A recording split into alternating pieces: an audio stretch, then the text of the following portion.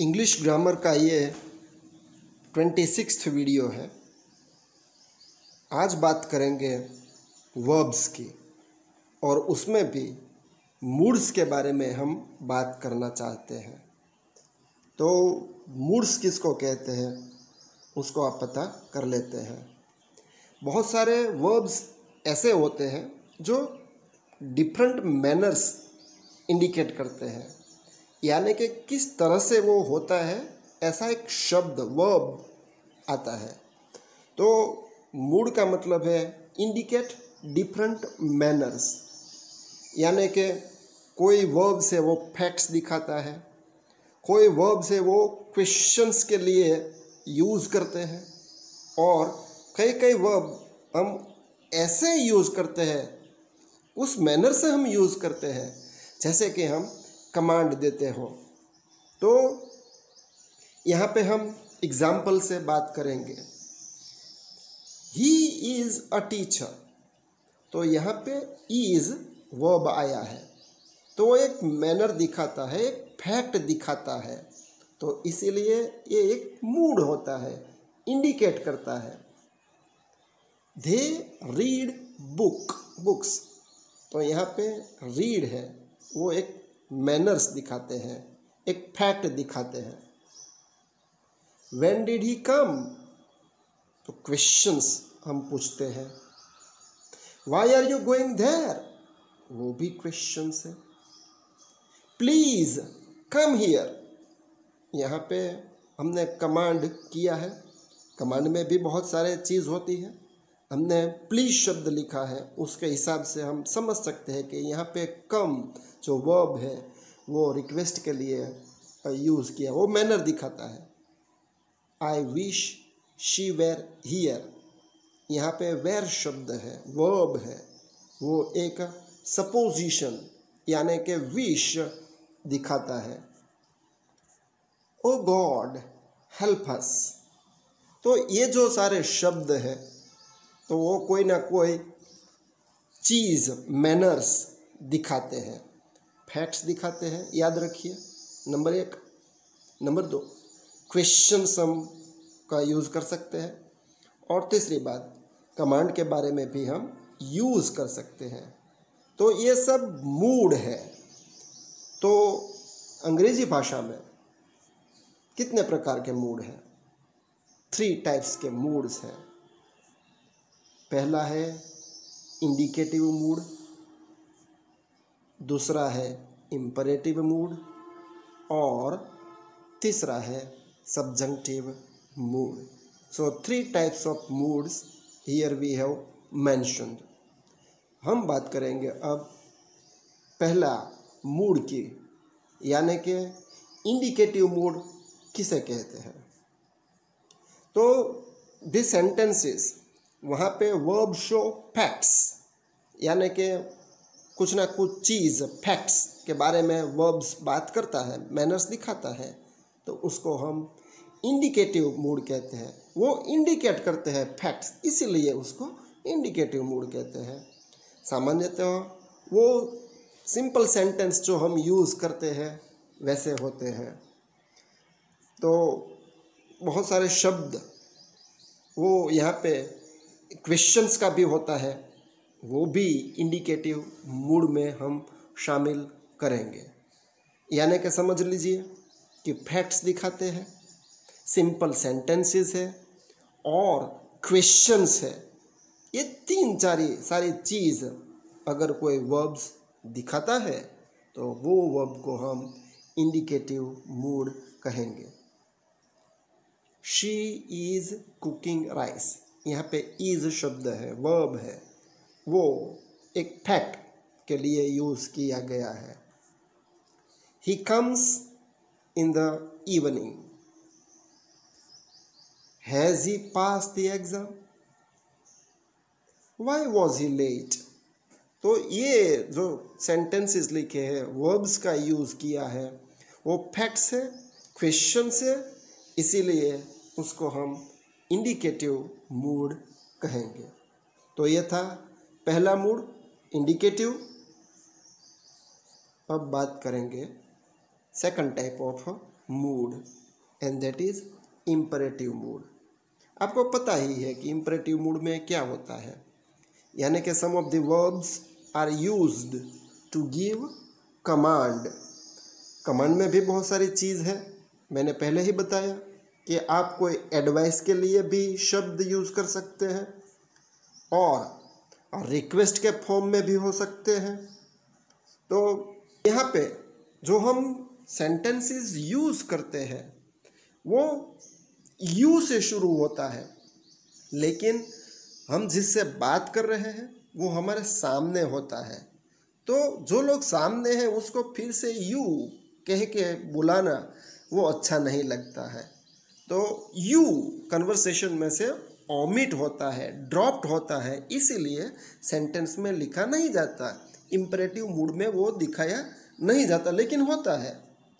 For example गो धेर ये command है। लेकिन हम ऐसे नहीं लिखते हैं। यू गो धेर तो यहाँ पे यू ड्रॉप कर दिया है। सिर्फ़ गो धेर ऐसे हम कहते हैं।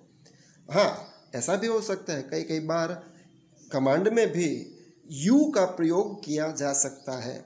लेकिन अगर वो स्पीकर है, वो कोई आदमी को उसको एम्फेसाइज करना पड़ता है, उसको स्पेशली इंडिकेट करता है तो यू उसको लिख सकते हैं। मान लो कि बहुत सारे लोग हैं, उसमें से कोई एक आगे आया है और वो उसको कहता है कि यू डू दिस तो यहाँ पे ये एम्फेसाइज हो गया है।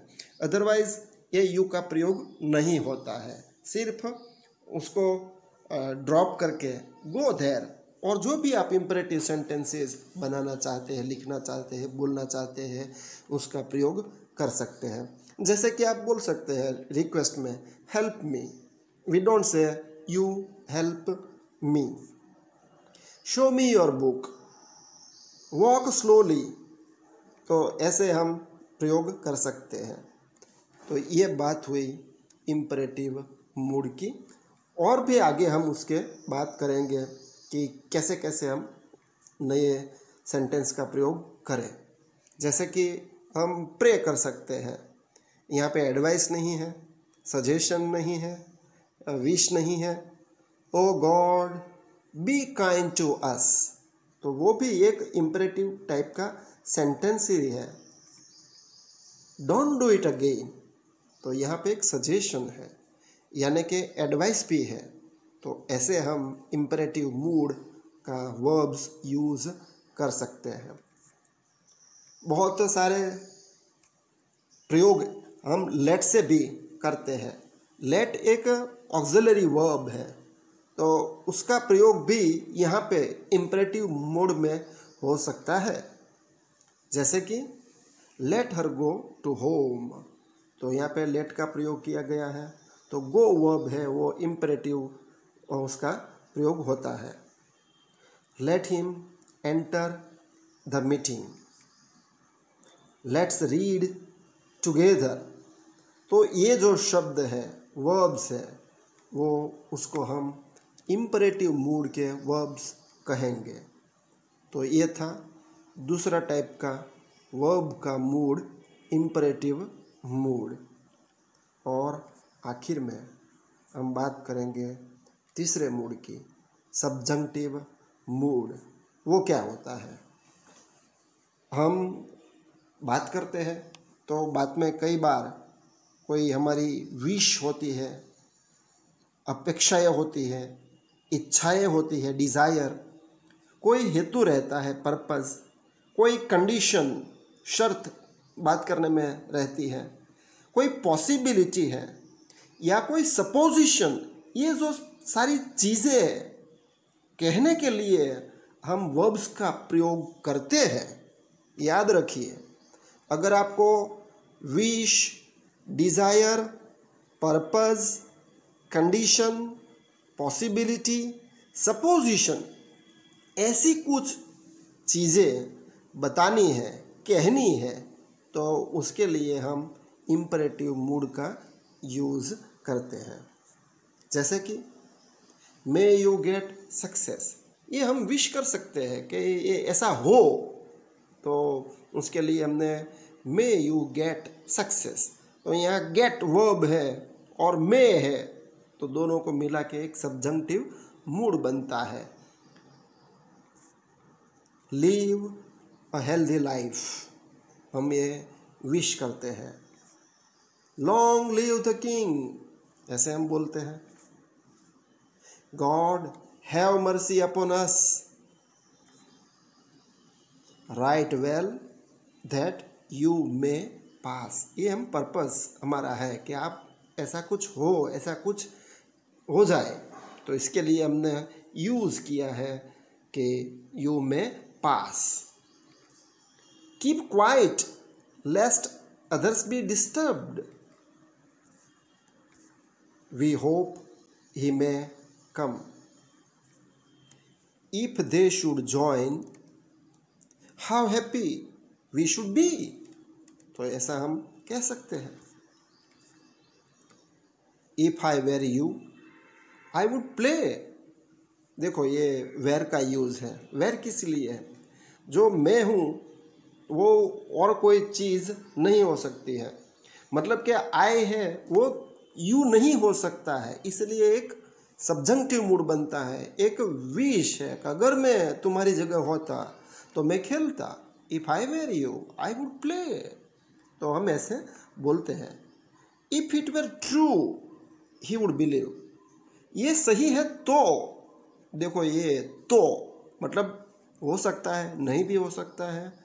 तो इफ़ इट वेर ट्रू अगर ये सही है तो ही वुड बिलीव तो कई बार ऐसा भी होता है कि बहुत सारे क्लोज है, वो इफ़ से शुरू होता है, धो से शुरू होता है, लेकिन सेंटेंस में जैसे हमने यू ड्रॉप कर दिया है, वैसे ही इफ़ और धो से शुरू होता शब्द ड्रॉप कर सकते हैं।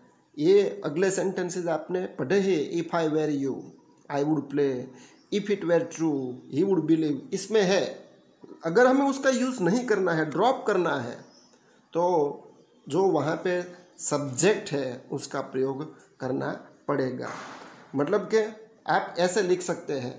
If he were a captain he would decide it अगर वो कैप्टन है तो वो पक्का करेगा।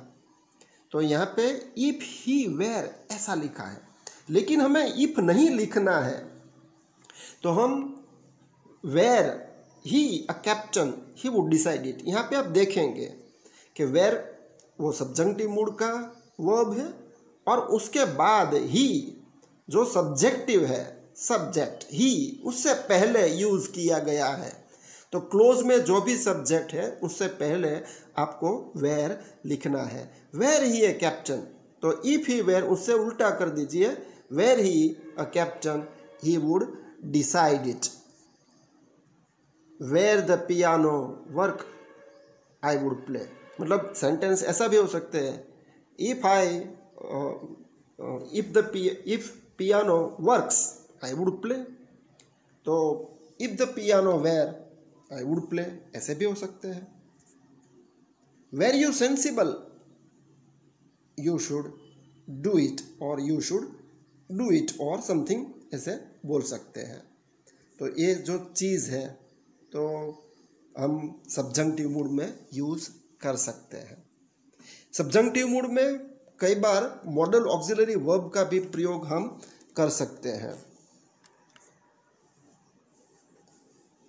लेकिन अभी ज़माना ऐसा हो गया है कि बोलचाल की भाषा है, उसमें भी होले होले चेंजेस आ रहे हैं नए नए ट्रेंड्स आ रहे हैं। वो दिखाता है कि लैंग्वेज है, वो हमेशा बदलती रहती है। तो यहाँ पे मॉडल ऑक्सिलरी वर्ब्स का लोग ज़्यादातर यूज़ करते हैं। सब्जंक्टिव मूड के बजाय मतलब कि वेर है लेट है, उसके बजाय मॉडल ऑक्सिलरी वर्ब का प्रयोग करना ठीक रहता है। जैसे कि the tax officer asked that he be granted leave यहाँ पे देखो बी वर्ब हमने लिखा है, वो बोल्ड लिखा है। तो ये रेगुलरली यूज़ करते हैं। लेकिन आजकल टेंडेंसी क्या हो गई है कि इंस्टेड ऑफ़ यूजिंग बी तो मॉडल ऑक्सिलरी का यूज़ करके आपको पता है कि can could shall should will would ये सब मॉडल ऑक्सिलरी वर्ब्स हैं। उसके बारे में भी हम अगले वीडियो में बात करने वाले ही हैं। लेकिन आपको अभी तो पता है कि मॉडल ऑक्सिलरी वर्ब्स क्या है। तो मन में रखना है कि shall will may might can could will would ये शब्द मॉडल ऑक्सिलरी वर्ब्स हैं। तो यहाँ पे सिर्फ़ बी ग्रांटेड लीव्स उसके बदले में वो मॉडल ऑक्सिलरी वर्ब का यूज़ करेंगे। जैसे कि the tax officer asked that he should be granted leave तो ये शुड का प्रयोग किया गया है। The police order that he pay fine ऐसे रेगुलरली हम सब्जंक्टिव मूड में यूज़ करते हैं। लेकिन ही पे फाइन उसके बजाय मॉडल ऑक्सिलरी वर्ब का यूज़ करने के बाद ऐसा कुछ सेंटेंस बनेगा। The police ordered that he must pay fine तो ये सारी चीज़ें अभी हो रही हैं। यानी कि सब्जंक्टिव मूड के बजाय मॉडल ऑक्सिलरी वर्ब का प्रयोग करते हैं। तो ये थ्री टाइप्स ऑफ़ वर्ब्स के मूड के बारे में हमने बात की है। Thank you very much have a good time